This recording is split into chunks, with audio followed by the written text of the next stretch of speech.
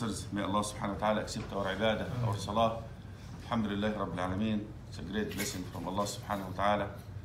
Every day, especially this Friday also, uh, every Friday to pray Salat al-Fajr in Jama'ah. Start your day with dhikr Allah subhanahu wa ta'ala, wudu and ta'ah. Brothers and sisters, very important in Islam to purify yourself.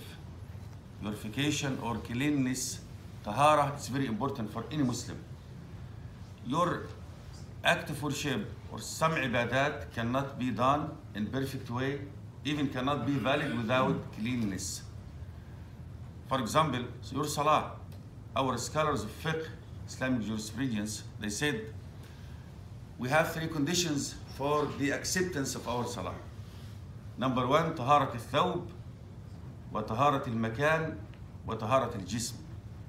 To purify your clothes and to purify your body before your salah, to make wudu or ghusl, and to purify the spot where you are praying, al-makan.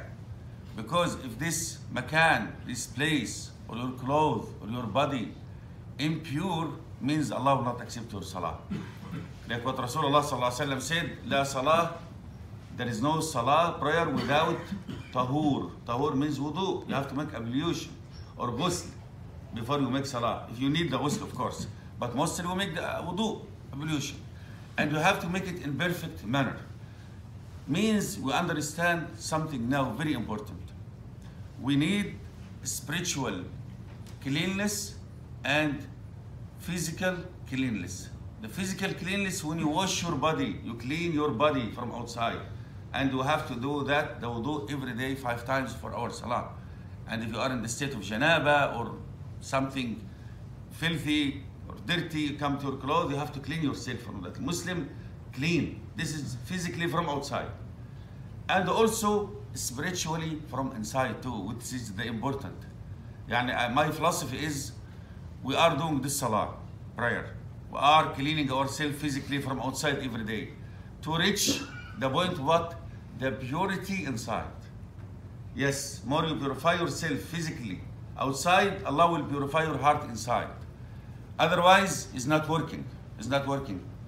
If somebody imagine that he's inside filthy and outside uh, najis. Najis, impure. It's not tahir, it's najis, it's impure. Yes, tahara. You know? We have to understand that, very important.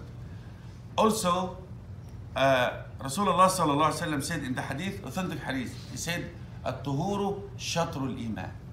Imagine that, brothers and sisters. Cleanliness is half of the faith. Cleanliness, tahara, it's half of your iman.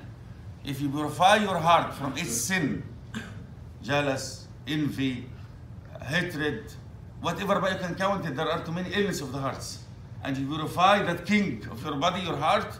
Ah, subhanallah, doctor was talking last Saturday about the heart. It was great, subhanallah, to understand your heart in your body is a king. And Allah subhanahu wa ta'ala directly, shortcut in the Holy Quran and even Rasulullah and Sunnah, He's talking to your heart. He's not talking to your eyes, your ears.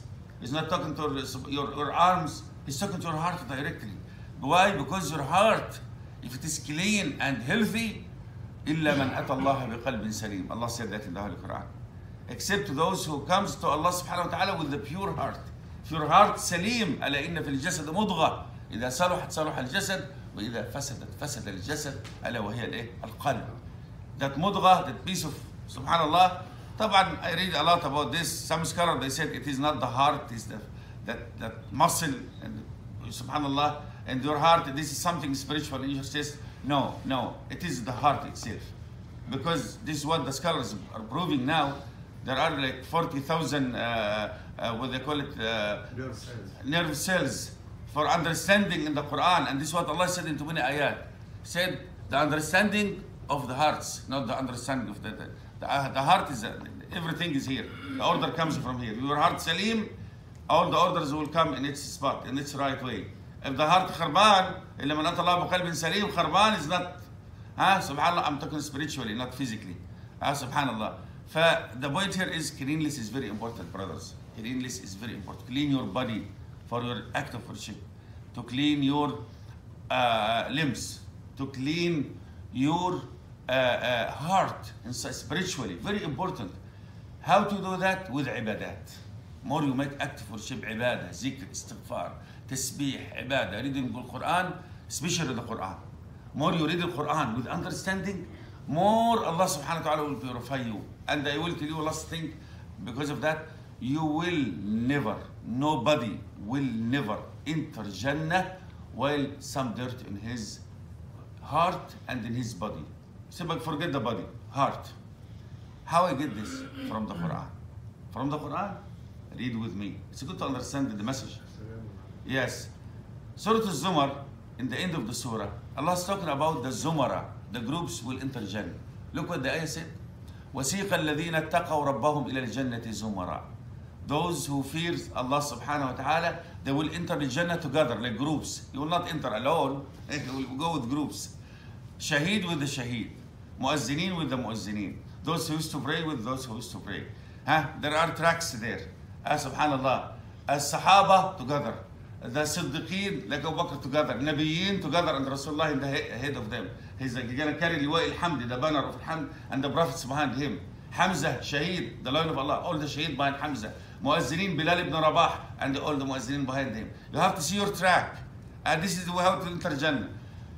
حتى إذا جاءوها until they reach its doors وفتحت أبوابها الواو هنا الأرابيك في القرآن the miracle of the Quran واو الأرابيك here واو they call it واو الثمانية the واو of the number eight and that's proving the eight the gates of Jannah are eight وفتحت أبوابها and its gates eight gates will be open for you ها وقال لهم خزنتها the guards of Jannah ها will say to you when you will be close to the doors the gates of Jannah سلام عليكم peace upon you guys they're gonna receive you with a good smile peace upon you سلام عليكم سلام عليكم ها تبتم ولا تبتم؟ طبتم. مش تبتم تجويد خربان. طبتم. طبتم. طبتم. واتس من طبتم? Somebody طيب. بيور because if you are طيب طبتم. Because if you are pure clean فادخلوها خالدين. كمان بليز الله created us clean. When he was a baby infant. You came with a pure soul. You come with the nature of Islam, fitrah. You are clean. That's why when you go back to Allah, you have to go clean, the way Allah created you. Anybody with some dirt, he will go to buy. eh, may Allah forgive Brother Muhammad from Sri Lanka. I miss him, Allah. Uh, eh, I gotta send it to him today. Uh, subhanallah. What did he say? Sheikh, mechanic shop. He must go to the mechanic shop. Uh, where is mechanic shop? He has to go to hellfire a little bit to be fixed, then to go to Jannah. Uh, to be clean from this some dirt, some sin, and some stuff. This is a mechanic shop. Yes, Billah. I'm asking Allah to enter us Jannah all together without any accountability, without any hisab, inshallah. But to purify yourself, ya jama'ah, it's very important. Before you go to your bed every night, make sure, like Sayyidina Umar, count yourself. What did I do today? Did I oppress somebody? Did I talk about somebody? Did I backbite somebody? Did I slander somebody? Did I take the rights of somebody? Huh? Count yourself and say astaghfirullah before you sleep.